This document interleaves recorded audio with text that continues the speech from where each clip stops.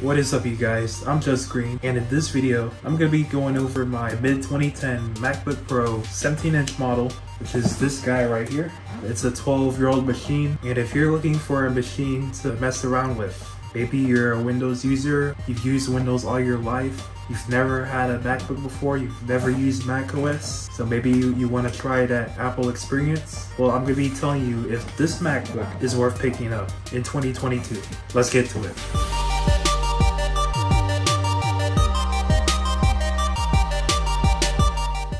So for this being a nearly 12 year old computer, the specs were basically some of the best you could get at the time on any computer. It has a 2.66 GHz Intel Core i7 processor. It has 8 gigabytes of DDR3 RAM. It uses an NVIDIA GeForce 330M graphics card. And these are easily upgradable, unlike the newer MacBooks, which basically Apple doesn't want you to upgrade anything, but you're able to do that with these older unibody MacBooks and it's really easy to do. Something as simple as an SSD upgrade will make the experience feel like brand new. So if you're going to be using this thing daily, I would definitely advise throwing in a solid state drive in there. It will make things so much faster.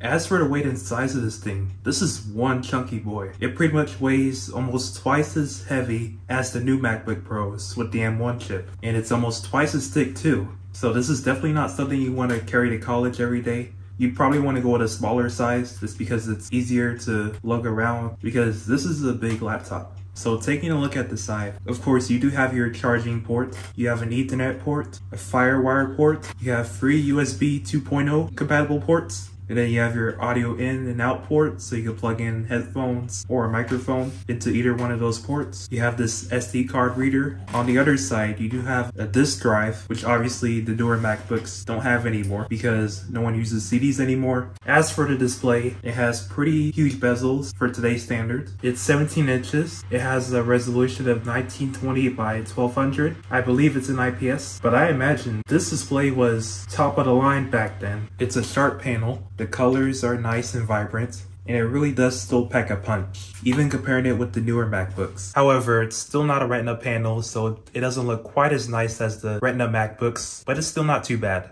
And this MacBook does have a backlit keyboard, which really makes it look premium. It has nice travel. It's got a nice sized trackpad, feels really good to use. I feel like Apple has always been on point when it comes to their trackpads. So overall, the build quality, the fit and finish of this machine is just on point. For being nearly 12 years old, this still feels very premium and modern. You also get some pretty banging speakers. They have subwoofers in them. They really pack a punch. Again, Apple makes some of the best speakers in the game in my opinion, so you won't be disappointed there. Another thing I really do like about these older MacBooks is the glowing Apple logo, which Apple has obviously moved away from this aesthetic a long time ago, but there was just something really, really different about it. It really just made this laptop stand out. It really gave it the presence of owning an Apple product. But this was likely removed due to needing a cutout from the back of the screen, which would allow light to come into the housing of the screen and interfere with the display. So that's probably why they removed it. But it's a nice iconic look that I do miss and I wish they still did it. Another thing with these MacBooks is that you're able to open the lid with using just one hand.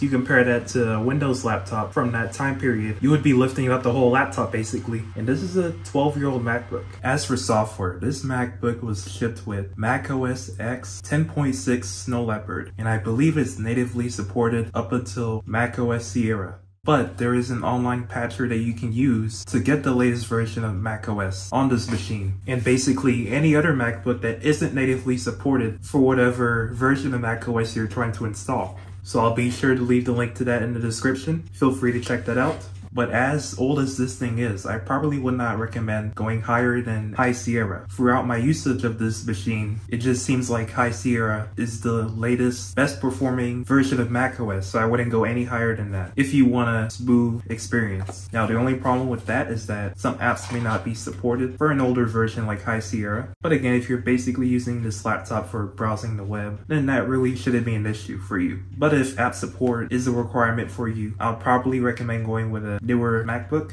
As for video playback, if you're going to be watching YouTube or movies on this thing, you won't have any major stutters watching them in full HD 1080p. There might be a few stutters here and there, but overall, not too bad for a computer of this age. Now, don't expect to be loading up 4K footage on this or anything like that. That's just out of the realm. But with full HD content, you shouldn't have any major issues with playback. Alright, camera quality on this 12 year old MacBook is absolutely atrocious, and I imagine the microphone quality is too. But that's expected as laptops don't really get the best of cameras anyway, even till this day. The newer MacBooks with their cameras aren't really that much better, but this is still terrible, to say the least. Now, while I did say at the beginning of the video that you shouldn't be gaming on this thing, I've included a gaming test anyway, because I know there's probably some of you who are very curious as to how this thing would handle games. So just for fun, it clearly has trouble handling my Roblox game. And yes, this is my game that I created myself on the Roblox platform. I will leave the link to it in the description if you're interested. Definitely go check it out. I'd really appreciate it. But yeah, gaming is not something you want to do with this MacBook. So that's out of consideration consideration. This is really only something you should be using. Maybe if you're a college student like me, you just need a laptop to get you through school, do some documents, things like that. High resource intensive tasks are just overkill for this 12 year old computer.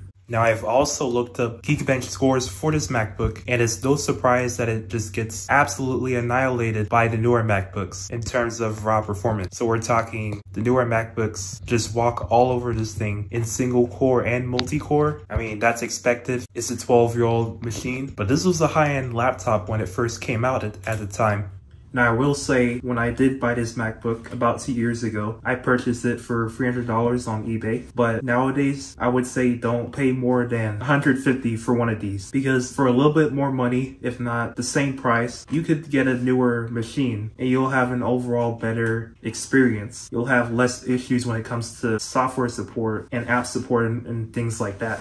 But if you find one of these for really cheap, maybe like 90 bucks on eBay or something like that, if you're just gonna use this for simple daily tasks, not a bad choice, but just don't overpay for one of these.